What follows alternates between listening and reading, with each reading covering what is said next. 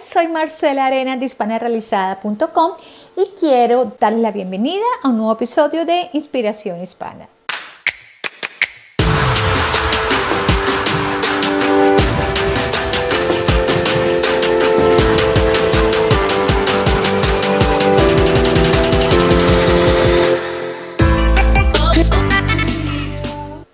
Mi invitada especial de hoy es Fabiola Ortega, una mujer de Dios, servidora, atrevida y emprendedora.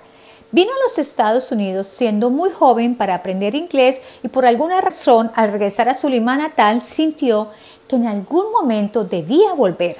Así fue como pasados cinco años se vino a la aventura con visa de turista a probar suerte y a trabajar. Su condición de ilegalidad la hizo regresar de nuevo a Perú a seguir trabajando en el área donde había obtenido su grado hotelería y turismo. Pero se ganó una visa en una lotería y comenzó de nuevo. Casada y con dos hijas, estando en casa, logró escribir un libro titulado Decídete y también iniciar su negocio de postres Dulce Antojito. Esta peruana es pastora, cristiana, predica la palabra de Dios y es para mí un verdadero placer tenerla como invitada hoy en Inspiración Hispana. Fabiola, bienvenida a Inspiración Hispana. Muchas gracias por aceptar nuestra invitación. Gracias a ti por invitarnos. Estoy feliz de estar en tu programa para servirles. ¿Cómo identificaste que este era el país para alcanzar tu realización? Pues la primera vez que llegué aquí a Estados Unidos fue por unas clases de inglés que mis padres me mandaron por un intercambio. Eh, en realidad, cuando uno es joven, ve un país tan grande, tan moderno, tantas eh, actividades, que uno empieza a comparar y dice, wow, no, este país me gusta más. Pero a medida que vas creciendo, a medida que vas estudiando, bueno, si tuviste la oportunidad de estudiar o no, trabajando, te das cuenta que en Estados Unidos, eh, yo hacía una comparación, bueno, aquí lo que gano en un mes, lo gano en mi país en tres meses. Entonces fue más que todo como algo, un problema socioeconómico que vivía Perú, que vive Perú, que vive la mayoría de Sudamérica. Vamos a decir que eso fue lo que determinó en un principio para que yo viaje en Estados Unidos y vea una oportunidad, podemos decirlo así, una oportunidad para poder realizar cosas con mayor libertad que no podía en mi país. ¿Qué valores mantiene esa limeña que salió de su país hace varios años? Mamá y papá. Si algo tengo que agradecer a mi mamá y a mi papá es que me enseñaron que un por favor, que un gracias, que una sonrisa en todo tiempo, que una palabra de aliento hace la diferencia donde tú quieras que vayas. No importa el país, no importa el lugar, no importa con qué familia tú puedas tener contacto, mientras que existan esos valores en ti, donde quiera las puertas se van a abrir. Y eso fue lo que he traído de ellos y hasta ahora lo sigo practicando. ¿Han sido muchos los obstáculos a superar en la vida aquí o la vida ha sido más bien fácil? Al principio, cuando uno recién llega a Estados Unidos, sí, fue difícil porque surgen en la transición muchos cambios. O sea, uno viene acostumbrado a cierta cultura y llegas a un país completamente diferente desde el idioma. Bueno, el, el inglés no fue una barrera para mí porque lo sabía hablar, pero en realidad sí fue tremendo con otras cosas. Bueno, yo, mi hija nació aquí en Estados Unidos, madre soltera, teniendo que trabajar, preocupada por la migración, porque estuve dos años de ilegal en este país, llevándola de casa en casa para que te la cuiden, porque no tienes familia que te pueda cuidar una niña y con esa preocupación de que a veces está enferma y tienes que dejarla igual, porque si no, ¿cómo trabajas? ¿Cómo la mantienes? No solo eso, no tienes carro, eh, que el bus, que pedir ride, wow, son cosas complicadas en nuestros países, hay taxis, hay buses y en realidad racismo, gracias a Dios, un racismo crítico, no lo pasé. Eh, creo tal vez ha sido un racismo como el que hay hasta en nuestros propios países. No sufrí de eso, gracias a Dios. Sí, en realidad fue eso. No tuve, gracias a Dios, ningún racismo crítico en contra de mí, por lo mismo que podía defenderme con el idioma. Y como toda hispana, tuve que acoplarme a la sociedad donde estamos viviendo, porque una cosa es que sea peruana, pero yo vivo en Estados Unidos y es un país que me ofrece oportunidades, tengo que acoplarme a la sociedad también. Y eso fue algo que marcó la diferencia. Hay personas de otros países peruanos y vienen a este país y pretendemos vivir exactamente como vivíamos en nuestros países. Y eso trae confusión, trae frustración, porque lamentablemente no se puede. tenemos que acoplarnos a la sociedad en la que estamos viviendo, ¿no? Y eso fue la decisión que yo tuve, es por eso que creo que las cosas fueron mejor para mí. ¿Qué te llevó a escribir un libro llamado Decídete? ¡Wow! ¡Qué pregunta tan maravillosa! Pero es una respuesta muy amplia. Voy a tratar de hacerla más pequeña. Nuestras vidas, Marcel, están llenas de decisiones. Están llenas de decisiones, las cuales van a marcar nuestro presente y nuestro futuro. Tal vez tú y yo tuvimos la oportunidad de que alguien nos aconsejara para tomar una buena decisión en la vida. Hay mujeres allá afuera que no tienen esa oportunidad, que no tuvieron tal vez una madre, un padre, una persona, una abuela, alguien que los aconsejara, alguien que los guiara, alguien que les diera, basada sus experiencias, buenas decisiones que tome la gente. Eso fue lo que motivó mi corazón. Yo no soy perfecta, pero la decisión, el libro de Decídete está basado en la palabra de Dios, en las sagradas escrituras, el cual sí es perfecto. Entonces creo que eso es lo que nos motiva y ese es mi, mi, mi aporte a la comunidad latina, mi aporte a la comunidad hispana, en este caso mujeres, para que a través de ese libro puedan tener una guía, puedan tener un consejo, puedan tener una determinación para poder decidir, ya sea en su vida familiar, su vida emocional, su vida como madre, como esposa, como hijas, como compañeras, etcétera. Es importante las decisiones que tomemos en nuestras vidas. ¿Cuáles son las cosas que más atesora una hispana cuando sale fuera de su país? El tiempo. En mi caso es el tiempo en este país tenemos que llegar a un momento donde tú tienes que organizarte para poder sacar tiempo para la familia, tiempo para ti misma, para disfrutar de ti, para disfrutar de las maravillas que Dios nos ofrece. En nuestros países, no me preguntes cómo, hay tiempo.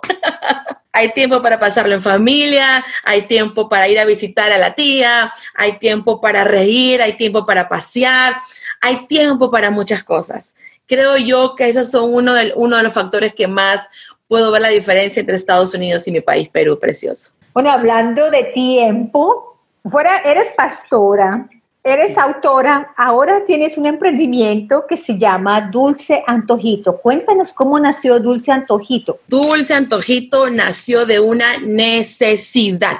Y creo yo que hay un momento en la vida donde Dios nos tiene que llevar hasta esa necesidad para que empiecen a fluir las ideas. y esa fue una de ellas. Yo trabajaba siempre para el sistema federal cuando era supervisora de maestros en escuelas de After School Program, le dicen, en las clases de la tarde para nivelar a los niños. Estuve, como te dije, ya en el programa del After School, pero dejé de trabajar en junio del año pasado. Por mutuo acuerdo, yo y mi esposo quedamos en que yo dejara el trabajo para dedicarme más tiempo a mis hijas. Una tiene 18, la otra tiene 10 años. Y creí que era conveniente, entonces lo dejé, pero es un cheque menos en la casa. Entonces, yo en casa, eh, las ideas empiezan a surgir, Señor, ¿cómo hago para producir? Si no quiero trabajar en lo secular, quiero encargarme de mi familia, por favor, ayúdame. Recordé que desde pequeña, Marcela, me encantaba la repostería. Me encantaba hacer postres con mi mamá y con mi abuela que flanes, que budines, que pay de manzana, que pay de chocolate. Mi papá siempre me decía, tú tienes que poner una panadería, deberías poner una repostería. Y yo le decía, sí, sí, sí, pero pasaron tantos años, una crece, tú tienes idea, ¿no? Tu vida, y es lo último que te acuerdas. Y empiezas a trabajar en lo secular, haciendo tantas cosas con ese deseo ahí. Pasan los años y cuando llega el momento de confrontar mi realidad, que no tenía ese dinero que yo quería, es cuando llegó mi memoria esos pensamientos y esas imágenes, esas visiones de cuando yo era niña. Y dije, wow, lo tengo, dulces, panes. Yo vivo en una comunidad donde el 90% son mexicanos, hondureños y guatemaltecos. No hay peruanos en el área donde yo estoy y la gastronomía de ellos es muy fuerte, es muy celosa. Uno no puede entrar con una comida que no sea mexicana porque te miran dónde está mi tortilla, dónde está mi chile y eso lo respeto.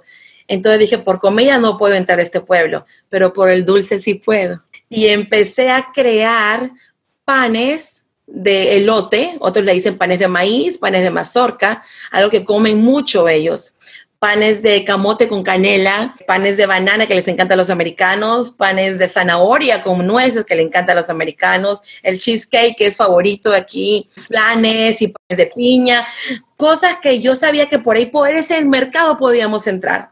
Y así fue. Y empezamos y empezamos y le doy gracias a Dios. Aún no tengo la tienda, ya la vamos a tener pronto, pero lo que hemos estado haciendo desde casa ha surgido, hacen pedidos de 30 panes por fin de semana, 40 panes, 50 panes, y es algo que estamos empezando. Tenemos recién cuatro meses. Estamos esperando ya la licencia para empezar a abrir nuestra tienda. Para la gloria de Dios estoy contenta porque poco a poco estamos trabajando en eso. Han habido altas, a bajas, a veces no compran nada y yo, Dios mío, no, no puede ser pero no es posible tampoco que a todo el mundo se le ocurra comer todo el tiempo el mismo pan. Entonces, esperamos un poquito y luego se les antoja de nuevo. Es por eso que le puse dulce antojito, que ese antojo crezca, ¿no? ¿Qué mensaje le das a esas mujeres que no tienen un estatus migratorio y que sueñan con lograr y tener sus papeles y alcanzar sus sueños en este país? Yo viví dos años ilegalmente en este país. Yo sé lo que es ser madre soltera, tener miedos, tener inseguridades a que te aparten de tus hijos, ver si alguien o una persona mala te va a hacer un daño y llamar a reportarte contra migración para que te lleven por celo, por envidia. Yo sé lo que es que te saquen del trabajo cuando viene migración y te escondan para que no, no te lleven. Yo sé lo que es que el cheque no te alcance por cuanto no tienes estatus, por cuanto no eres nadie. Yo sé lo que es manejar con temor a que te puedan parar por una tontería porque se te olvidó cambiar ese foco del luz y te paran y te das cuenta que no tienes lo que te... Yo sé todo eso, lo he sentido, es por eso que me identifico con cada mujer que está pasando esto ahora. Pero hay algo que tiene que quedar muy claro, muy por encima, que tengas o no los papeles, que los vayas a tener o que no los vayas a tener jamás. Lo más importante es la actitud del corazón. Es lo que tienes aquí, porque tu vida no puede valerse de lo que el sistema va a decir o no de ti tú tienes que saber quién eres tú y lo que tú vales, la identidad que tú tienes. Y si pudiste cruzar esa frontera, ese río, y fuiste una mujer valiente para entrar a este país, tú puedes conseguir lo que tú desees. Solamente tienes que saber con lo que tú cuentas. No puedes tener un yo, bueno, yo soy ilegal y quiero soñar ser la presidenta de Estados Unidos. Para ser presidente hay que estudiar. O sea, es bonito soñar, pero es más bonito saber qué es lo que tú tienes, qué es lo que tú puedes hacer, lo que tú cuentas para que esos sueños se cumplan. Muy por encima de que tengas o no papeles. Porque si mi vida va a estar enfocada en que haya una amnistía o un cambio en el régimen político, me voy a volver vieja y no voy a conseguir lo que yo anhelo. Creo fielmente, Marcela, que una persona donde quiera que vaya, si tiene emprendimiento, va a lograr lo que quiere, ya sea en nuestro país o en este país. Tal vez yo me di cuenta tarde, ya estaba en este país, pero creo que mi país pudo haber hecho yo también grandes cosas. Por eso es mi consejo. Antes de que querer que una persona quiera pasar todo esto, tiene que saber que uno tiene los talentos. Uno puede desarrollarlo donde vaya. Hay mujeres que no tienen los, los papeles necesarios para estudiar en la universidad, pero sí un college.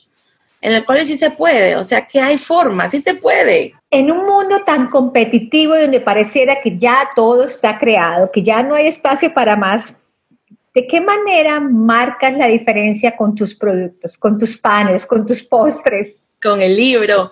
Yo creo fielmente que todo sacrificio tiene recompensa, que todo esfuerzo tiene recompensa, que toda entrega tiene recompensa. Todo lo que tú hagas, si está enfocado al propósito con lo que tú vas a hacer, ¿Cuál es tu propósito? Que a la gente le encanta el pan. ¿Cuál es tu propósito? Que no lo compren una vez, sino que lo compren dos, tres veces cada 15 días. ¿Cuál es tu propósito? Que cuando lo saboreen les guste y lo promuevan con otra persona. Entonces, el producto espiritualmente tiene que tener todo eso. Yo no me refiero a los sabores, tiene que ver mucho la intención. Puede haber organización. Yo me pongo a sorprender. ¿Cómo es posible que esa tienda tan linda no venda la ropa que vende esta tienda que está no tan cómoda? Tiene mucho que ver con la entrega y creo yo que espiritualmente todo sacrificio tiene recompensa. Tiene mucho que ver con el amor que tú le pongas a las cosas.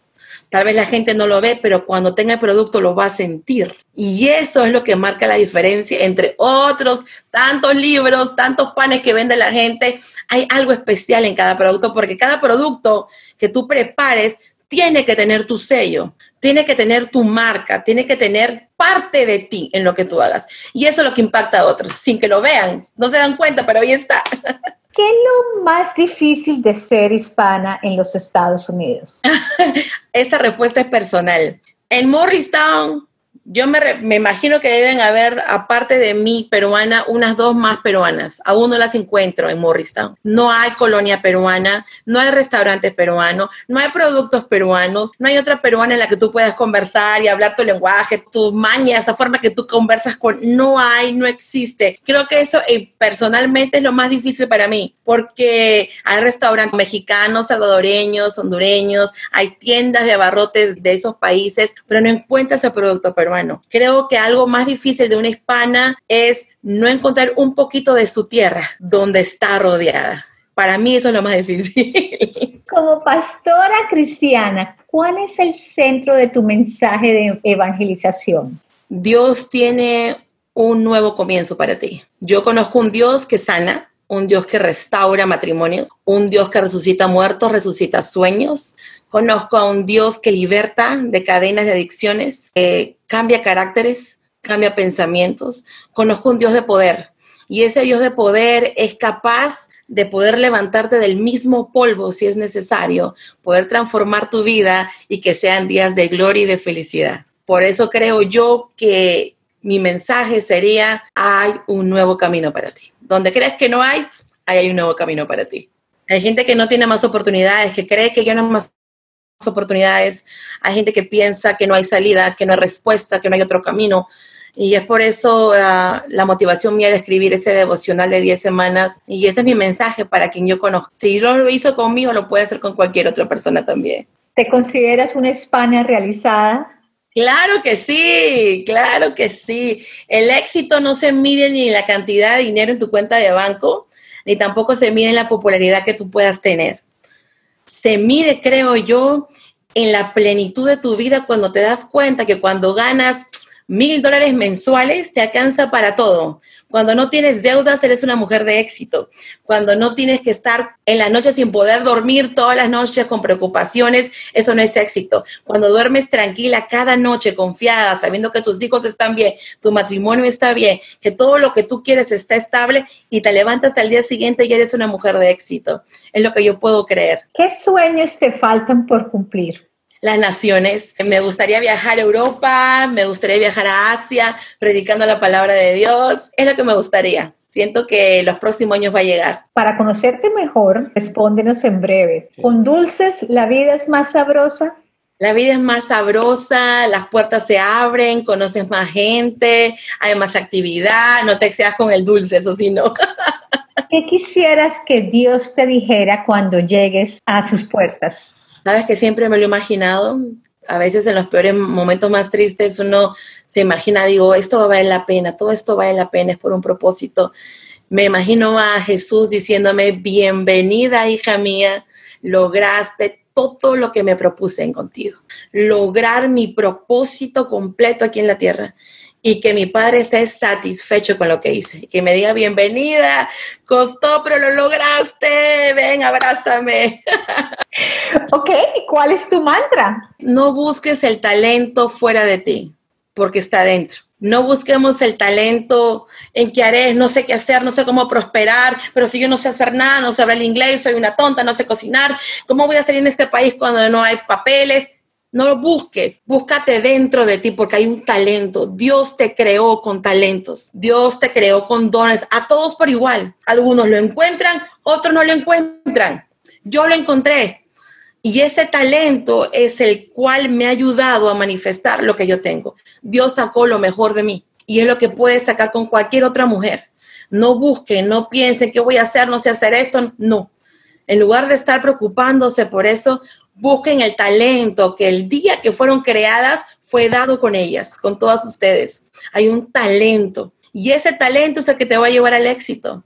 Ese talento es el que te va a proveer cuando creas que no hay. Ese es el talento. Por eso es mi mantra. No busques talentos afuera. El talento vive dentro de ti. ¿Algo más que te gustaría agregar? Pues no, gracias, muchas gracias Marcela por darme la oportunidad de poder conversar contigo y llegar a tantas mujeres emprendedoras, mujeres luchonas, mujeres que estén firmes. Miren, hermanas, amigas, no importa lo que estén pasando, mantente firme, a tu fe, a lo que has creído, a lo que tú quieres, a tu meta. Mantente firme, porque si tú le pones empeño, lo más importante, sigue buscando, sigue tocando puertas, sigue creyendo, sigue confesándolo con tu boca. Va a llegar ese momento. Va a llegar ese momento, no lo dudes, va a llegar ese momento, porque si a veces pedimos pero no hacemos nada, no vamos a recibir. Es importante pedir, buscar, no quejarse, sino estar tocando puertas. Va a llegar la oportunidad y cuando llegue esa oportunidad estarás preparada para recibirlo, para procesarlo, para desarrollarlo y para disfrutar de los frutos. Así se habla. Muchísimas gracias, Fabiola. Fue un placer tenerte aquí. Gracias por tus palabras tan sabias, tan profundas y de tanta inspiración. Y ojalá, chicas, escuchen a Fabiola, que ella conoce, ha estado ahí. Y mírenla donde está. Miren esa alegría, esa energía, esa pasión y ese amor por el Señor, que para mí es lo más importante. A ti muchísimas gracias. Dios la bendiga a todas. Qué gusto fue charlar con Fabiola. Si quieres obtener la ayuda, la motivación, las herramientas y la inspiración de otras hispanas que han salido adelante en este país, te invito a que te unas al Club Hispana Realizada. Puedes probar gratis por 7 días todo lo que el club tiene para ti, como cursos, webinars, herramientas, áreas de ayuda, empleo, motivación y mucho más. También es una comunidad segura y privada donde crecerás con otras hispanas deseosas de alcanzar su sueño en los Estados Unidos. Obtendrás la ayuda de mentoras especializadas en diferentes áreas que nos impartirán su experiencia y conocimientos especializados. El club tiene todo para que te empoderes, conectes y crezcas. Te invito a que nos sigas en nuestras redes sociales para que no te pierdas nada de lo que está sucediendo en los corredores virtuales de Hispana Realizada. Muchísimas gracias por escuchar y nos vemos la próxima.